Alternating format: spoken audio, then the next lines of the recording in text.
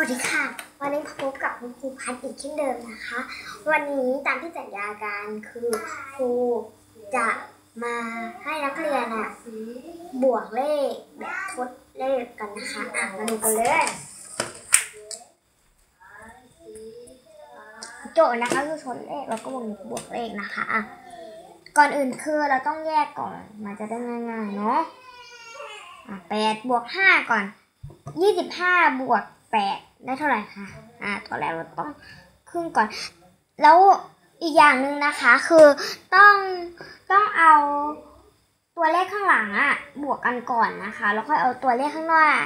บวกกัน ถ้าเกิดตัวเลขข้างหน้าบวกกันก่อน มันจะผิดนะคะเนาะอะเริ่มแปดเอาตัวแรกนะคะขั้นแรกเอาแปดเก็บไว้ในใจทูอีกห้าแปดแล้วเก้าสิบสิบเอ็ดสิบสองสิบสาม เขียนสามเขียนสามตรงนี้นะคะ ไม่ใช่เขียนสิบสามนะคะ มันผิดนะคะ เขียนสามไว้ก่อน เขียนหนึ่งเล็กๆทรงกลมไว้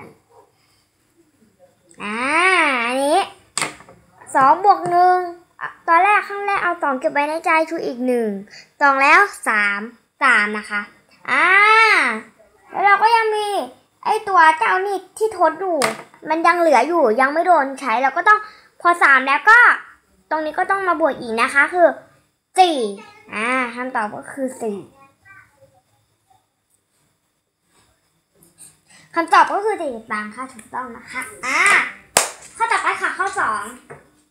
ขั้นแรกแบ่งครึ่งไว้ก่อนเหมือนกัน อ่า แล้วเอาเก้าบวกกับแปดนะคะ ข้อนี้แปดสิบแปดบวกยี่สิบเก้าเนาะ อ่าต่อขั้นแรกเอาเก้าบวกกับแปดก่อน หรือแปดบวกกับเก้าก็ได้นะคะ อะ แปดบวกกับเก้าตอนแรกเอาตัวเลขมากเก็บไว้ในใจแบบมันจะง่ายกว่านะคะ แต่ว่าก็แล้วแต่นักเรียนนะ แต่ครูจะเอาตัวเลขมากเก็บไว้ในใจนะ อะ สมมติว่าเอาเก้าเก็บไว้ในใจ คืออีกแปดเก้าแล้วสิบสิบเอ็ดสิบสองสิบสามสิบสี่สิบห้าสิบหกสิบเจ็ดสิบเจ็ดอย่างที่ครูบอกต้องทดไว้ตรงนี้ แปดแล้ว อย่างนี้นะคะอะตรงนี้นะคะ เอาแปดเก็บไว้ในใจคืออีกสองแปดแล้วเก้าสิบแล้วอย่างที่ครูบอกทดหนึ่งสิบแล้ว ถ้าเกิดมันมีตัวเลขสองหลักแบบเนี้ยแล้วอยู่ข้างหน้าอย่างเงี้ยค่ะ เราอะจะนักเรียนครูจะให้นักเรียนเติมไปอย่างนี้ได้เลย เพราะว่ามันอยู่ข้างหน้าแล้ว แต่ข้างหลังอะต้องทดนะคะ แต่ข้างหน้าจะไม่ต้องแล้ว เพราะว่า มันไม่มีตัวจะทดไม่มีตัวจะบวกอีกแล้ว เราก็เติมจิบเป็ดไปคำตอบก็คือหนึ่งร้อยสิบเจ็ดค่ะก็ตอบถูกต้องนะ อีกข้อหนึ่งค่ะ ข้อสุดท้ายข้อที่สามนะคะ อ่า แบ่งครึ่งไว้ก่อนจะได้ง่ายเนาะขั้นแรกเจ็ดสิบเก้าบวกสามสิบแปดเนาะขั้นแรก เอาเก้าเก็บไว้ในใจชูอีกแปดเก้าแล้วสิบสิบเอ็ด สิบสองสิบสามสิบสี่สิบห้าสิบหกสิบเจ็ด